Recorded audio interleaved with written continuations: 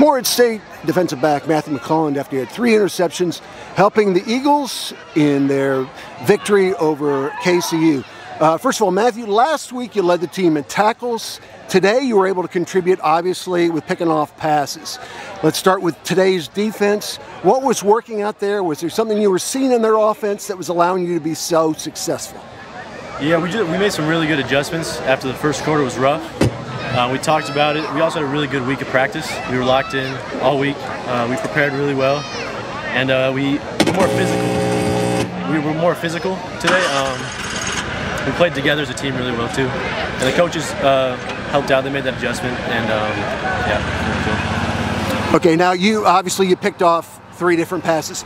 Were you reading something out of their the, the quarterback or the play call that you kind of knew to hit, where to anticipate it or uh, where to go defensively to position yourself to make those plays? Uh, I was kind of just trying to focus on doing my job, and I was reading the quarterback's eyes. Um, a, a, couple of them, I was it was like the quarterback was scrambling, and I just looked at him. I, I saw him throw it up, and um, pretty much reading the quarterback eyes and just doing my job, trying to get to the ball defensively on the whole, anything you thought today worked particularly well? Uh, I think we, we tackled a lot better as a team than last week, and um, that's pretty much it. We played a lot more physical and uh, together as a team more. Okay, finally, you tied the school single game record with interceptions with three.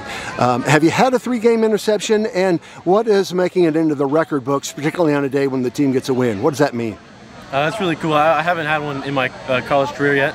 Um, but also my uh, my room, roommate from last year, Caleb Lyons. I think he, he's who I tied it with, so it's pretty cool. Well, wonderful. Uh, Matthew, congratulations. You've had two big weeks defensively. The team's come out with two wins, so congratulations on that. Thank you. Appreciate your time and best of luck as we look forward to next week. Appreciate it.